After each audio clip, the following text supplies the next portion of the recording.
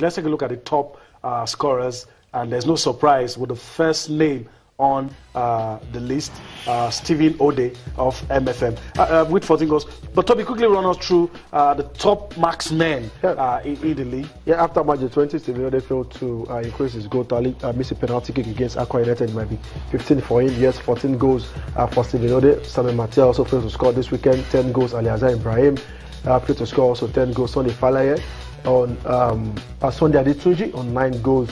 Uh, Mfon Udoh on 8 goals. Uh, Victor Boma, captain of Stars, on 7 goals. Adamu Azan on 7 on 7 goals. And then Godwin Obaje is the only player among the, the top guys that scored, scored you know, this this weekend. weekend. So on seven goals. This is uh, good to see. You know, Godwin get among the, the big boys. You know, the goal scoring uh, team also. He, he emerged as top scorer last season with 18 goals. He scored seven now. Still about uh, 18 more games for him to go. So let's see how much you know Godwin could replicate what he did last season. All right, so um, uh, that's it for the Nigeria Professional Football League. But guys, before we go, let's uh, take a look. Uh, we'll- step down and take a look at the Nigerian National League, and um, we look at the Southern and Northern Conference. For the um, Southern Conference was Week 15. So let's take a look at the results. Um, and that's it uh, on your screen. First Bank, goalless draw with Warri Wolves.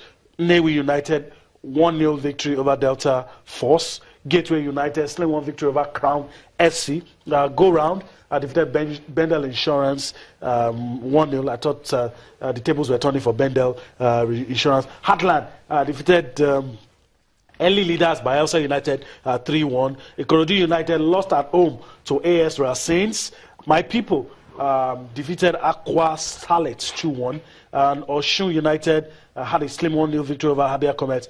Papilo FC 2 0 victory over UNICEF. Guys, let's pause. Uh, okay, uh, let's look at Northern Conference. Um, Yobe Desert Stars 3 1 victory over Mighty Jets. Sokoto United um, 1 0 victory over Kwara United. Adamawa United uh, played goalless with Kogi. FC Abuja 2 1 victory over Jigawa Golden Stars. And FC Zamfara 1 0 victory over um, FRSC. All right, uh, those are the results. Uh, but Onyemuchi, uh, any surprises from uh, the Southern Conference? I know the North, uh, Afe Babalola's uh, expulsion, and so, some issues, uh, st- you know, but Southern Conference, everything seems to be going on well. Yeah, yeah. There, there was a surprise in Abeokuta, the MKO Abiola Stadium. AS Racing going to Korea Yeah, United. that should not be a surprise for us anymore. Yeah, no, but you know, Korea United are donating points. So yeah, they are donating, but of recent, of recent, Yeah, they, the they last three picked, they picked yeah. some, um, you know, some. Yeah. points. So I felt There was a that- resurgence. Yeah, there was a resurgence. But I mean, yes, I've seen defeated um, Heartland at uh, the Agate Stadium. So I mean, I mean, it shows that they, they, they, they too are trying to improve on their game and possibly, you know, maintain their NNL status. All But right, I think the pick of the pack was uh, Heartland, Bayelsa United. I thought, Star game. yeah, that it was going to be very tough. Uh, two Premier League um, uh, former champions, you know, and um, it, the, the story of Bayelsa and Heartland is, um, you know, very, very intriguing. Uh, there was a time in the last, I think in 2014, the last of the season, Bayelsa came to Owerri and got the victory that, you know, ensured their Premier League status. You know, so everybody thought that it was, it was going to be well contested. Uh, Bayelsa went um, ahead. Um, Heartland, you know, came back and won the game convincingly, 3-1. You know, they, they have not stopped scoring after going to Umuahia uh, to get that 3-1 victory against uh, Abia Comets.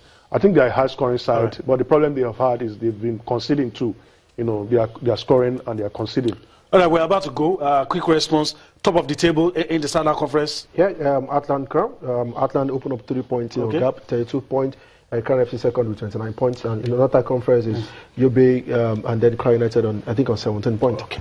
All right. So um, that's been the show today. Uh, thank you for your time. Thank you for um, staying tuned to us. Uh, we'll do this again tomorrow. Don't forget uh, the Channels International Kids Cup uh, is currently going on. It's going to be day two tomorrow. Eight matches to be played. Um, if you are in and around the venue, do avail yourself of the opportunity to see kids showing their talent and playing football. We'll do this again tomorrow. Bye bye now.